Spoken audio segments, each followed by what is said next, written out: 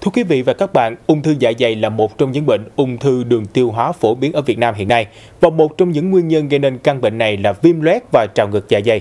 Thông tin trên được đưa ra tại hội thảo khoa học báo cáo tính hiệu quả và an toàn của công nghệ hướng đích trong bệnh viêm loét dạ dày trào ngược do Đại học Quốc gia Hà Nội tổ chức.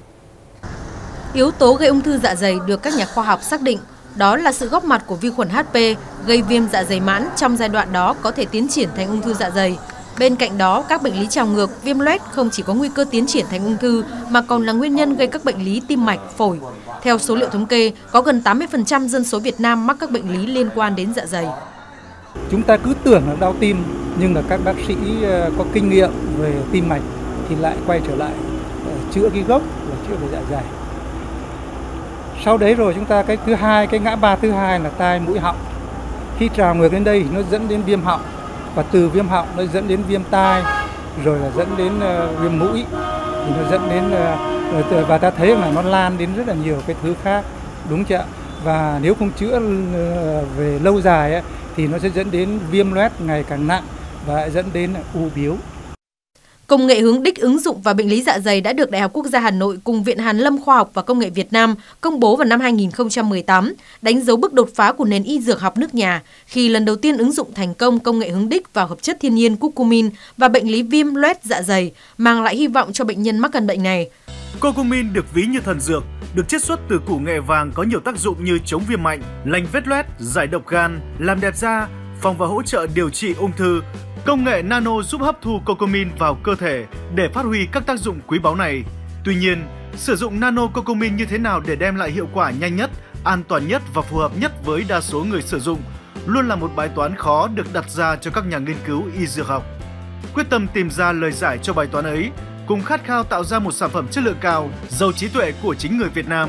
tiến sĩ Phạm Thế Hải cùng các nhà khoa học trẻ với nhiều năm học tập và nghiên cứu ở những nước có nền y tế phát triển như Cuba, Nhật Bản, Pháp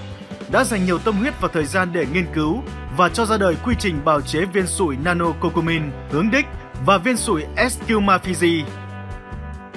Theo quy trình công nghệ, sau khi được tinh chế từ bột nghệ vàng, Cocumin được nano hóa tạo ra cấu trúc nano siêu nhỏ từ 30 đến 50 nanomet bằng công nghệ Misen để tăng khả năng hấp thu và tính sinh khả dụng với cơ thể. Sau đó nano cocumin được gắn axit folic phối trộn với tá dược để bào chế cho ra sản phẩm viên sủi nano cocomin hướng đích.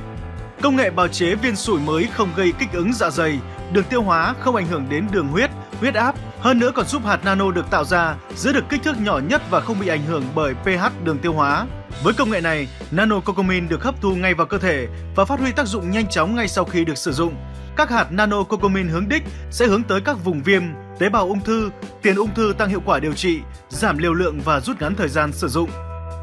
Với những ưu điểm nổi bật của công nghệ, quy trình bào chế viên sủi nano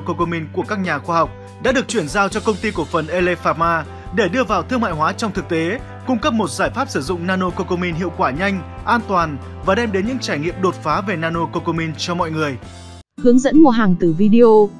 các bạn có nhu cầu đặt mua hãy bấm vào link đặt hàng bên dưới video bằng cách sau. Nếu xem trên điện thoại, hãy bấm vào tiêu đề của video. Khi đó màn hình sẽ hiển thị ra thông tin về sản phẩm. Bấm vào link mua hàng như hình, điện thoại của bạn sẽ mở ra website đặt mua. Nếu ở màn hình máy tính, thì link sẽ nhìn thấy ngay bên dưới video. Các bạn chỉ việc bấm vào link và màn hình sẽ ra trang web công ty để đặt mua.